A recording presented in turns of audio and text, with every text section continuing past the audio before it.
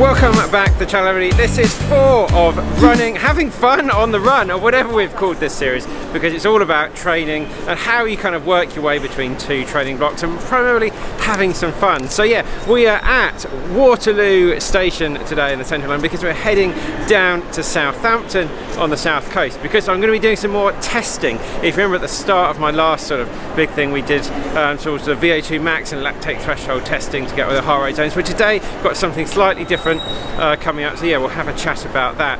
Uh, but yeah, just walking past, little fun fact. There's this pub just here at uh, the station where I actually kind of handed in my notice, quit my sort of corporate job in the past so it's always nice to come back and just see that and see the life we're now living through YouTube and running and everything it's amazing where your life can take you take a few risks and see what is in store in the future who knows what we can do but anyway we've got to quickly have some breakfast, get on the train down to Southampton, and then yeah, we'll have a chat about the testing and everything coming up. But yeah, welcome, we've got a great video in store, so stay tuned, it's coming up. Quick stop in prep for breakfast. Right guys, it's time to get on the train. We've got breakfast on board and Sarah's now panicking because she hasn't got her second coffee of the morning. No, but no, no, I'm fine, I'm fine. She's flagging, it's nine o'clock and I haven't had two coffees. I'm going to die.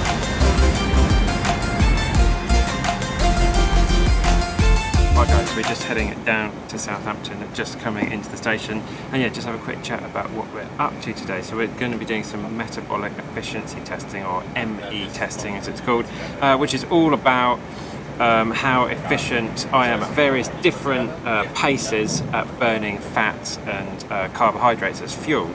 Um, and then so they'll go through. We'll explain all of this as we're going through it in the session, but it's just about trying to see where you're at now, and then see some changes you can make, so you can um, sort of improve your training to be burning more fats as fuel, uh, which is really really important for endurance training because yeah, our body, even the leanest leanest people, have got about 10 times the amount of fat stores as we do to carbohydrate stores. So if we can burn more of that fat endurance running um, or endure, any sort of endurance sport really, then it's got to be a good thing. So this is just seeing where we're at now, so we can make a few little tweaks and changes, and then um, yeah, going forward, so come back and see how we can improve to be burning more fats as fuel.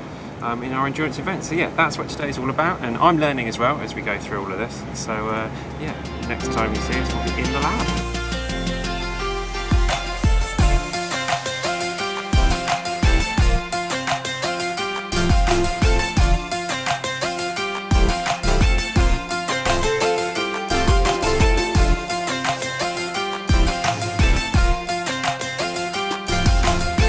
So what we're doing here today is called a metabolic efficiency test and the idea behind this is to look at how my sort of body is fueling itself and what fuel I'm using at different intensities. Um, so knowing all of this and knowing how it, it fuels itself will allow sort of me to fuel better going forward and to try and become less reliant on carbs for sort of the runs and the races that I'm doing. So the test starts out very, very relaxed, just sitting on the treadmill to try and get sort of see how my body is hopefully using fats as fuel at that point in time. Pretty much everybody will be using fats as fuel um, during that sort of resting state. Um, yeah, so that's sort of why we start things off very, very slowly. So then the intensity increases, we start to run and the body is going to start using carbs as fuel getting that from glycogen, which is easy available um, as that sort of fuel source um, early on. So what we're looking at is this crossover point where I sort of stop using those sort of fats as fuels and that sort of decreases and the amount of carbs um, increases. And then we'll get sort of a rough sort of speed um, at which at what point that is occurring. And then yeah we can hopefully sort of make some changes to try and get that a little bit higher going into the future. That's sort of how the test sort of works basically. And yeah we'll talk about some changes we can make coming up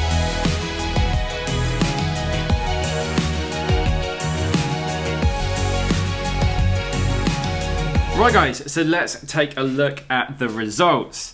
So yeah, this first sort of blue line here is the amount of carbohydrate that I'm using at various different intensities um, as the treadmill sort of speeds up. And the red line is the amount of fat I'm using for my fuel as well. So yeah, very, very early on, you see this crossover point uh, just here.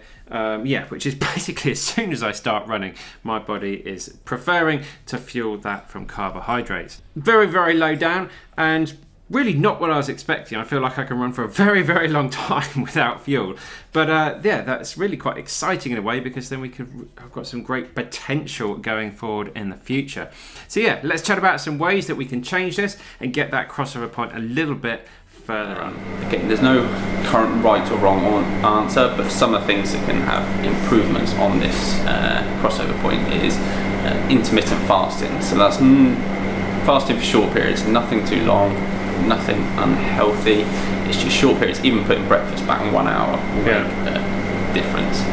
Um, it's about doing it over a long time, and that will make the difference. The body can take up to six weeks to adapt to anything, so you've got to give it at least that amount of time to see yeah. even the slightest of changes. Um, other things you can do is exercising fasted, again, only for short periods, nice and easy. Just allows the body to fuel off what is stored rather than what you've eaten and used because the carbohydrates burn so quickly. Um, if you are fasted overnight and then you do a fasted run in the morning or cycle, um, it will then use your fat, stored fats as the fuel for that exercise. Okay. Um, but again, you will feel hungry for anyone that doesn't do that, so you just got to keep it light and short, and the body will begin to adapt. Super, super low intensity. Yeah, and then another final good area to improve is what you have for breakfast. So again, when you first thing when you wake up is you kind of crave these kind of carbohydrate sugars. So most people go straight for cereals, toast, things like that. If you can go straight to fats and proteins, whether it's uh, nuts, protein shake, things like that, that can adapt your body to fuel from them because you're not giving anything carbs straight away. Yeah. So it's gone fasted and then straight into a fuel of fats and proteins. So it then starts to use those as the fuel source rather than carbohydrates. But again, it doesn't have to be all day. It could just be the breakfast and then lunch back to normal carbohydrates. It can be one, two days of the week that you do that. Just slight changes and the, just the adaptations. yeah, and the adaptations will occur over time.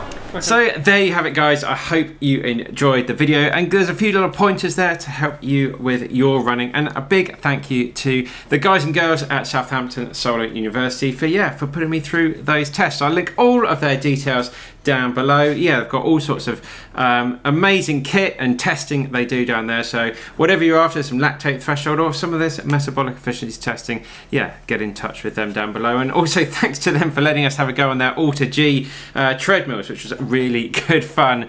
Um, yeah, very odd. I've never been on one sort of running with that sort of like weightlessness um, about it. And yeah, it's really quite nice. And so yeah, I'm going to be putting a lot of these um, ideas and practice into action now to try and improve my own um, sort of efficiency there and getting used to burning more. Hopefully trying to burning more fats as fuel for all the ultras and the marathons and stuff we've got coming next year. A lot of that success will depend on some changes and tweaks we can make here. So yeah, lots of stuff to get stuck into coming up. And yeah, guys, thank you so much for the support, the likes and the shares and all the support you guys give to the channel and the Patreons especially as well. Couldn't do it without all of your support. You make this happen. And yeah, we've got made lots of amazing sort of training videos and all sorts of stuff coming up into the new year. So that's it, guys. I'm off to have a nice avocado breakfast. And so I'll see you in the next one.